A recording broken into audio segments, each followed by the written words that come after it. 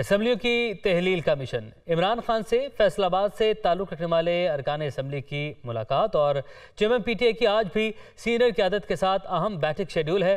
कानूनी माहरीन से भी मजीद मुशावरत की जाएगी। तो मुलाकातों और मुशावरत का सिलसिला जारी है। लियाकत अंसारी हमारे साथ मौजूद हैं। उनकी जाने बढ़ते हैं और उनसे मजीद मालूम हासिल करते हैं। लियाकत कहेगा आप यहाँ पर जमान पार्क के बाहर मौजूद हैं जो रिहाइश का है चेयरमैन पी टी आई इमरान खान की। तो कौन कौन सी अहम शख्सियात से आज यहाँ पर मुलाकातें हो रही हैं?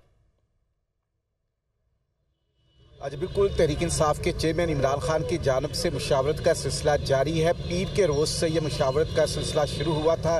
पहले लाहौर के अरकान असम्बली से मुलाकात हुई। फिर कसूर, ननकाना शेखुपुरा के बाद आज फैसलाबाद डिस्ट्रिक्ट के अरकान असम्बली का इजलास समान पार्क में इस वक्त इमरान खान की जेर सदारत जारी है, जिसमें पार्टी के मरकजी सेक्रेटरी इतलात फ़रुख हबीब, फवाद चौधरी, इसी तरह सूबाई वजरा, जिनमें अली अफसल शाही, ख्याल कासरो लतीफ़ गुजर और दीगर अरकान असम्बली जो है इस इजलास में शरीक है। बुनियादी तौर पर असम्बलियों की तहलील और फिर आम इंतबात की तैयारी, इन दो मामला पर जो है वो अरकान असम्बली से राय ली जा रही है और साथ ही साथ इमरान खान आइंदा जो सियासी लाहा अमल है, उसके हवाले से रोड मैप से भी आगाह कर रहे हैं। इजलास में ये भी तजवीज़ जेर गौर है कि जो इलेक्शन कराओ, मुल्क बचाओ, मुहिम के ग्यारह रैलियाँ लाहौर में प्लान की गई हैं। इसका दायरा कार पूरे मुल्क में फैलाने की तजवीज़ भी जेर गौर है।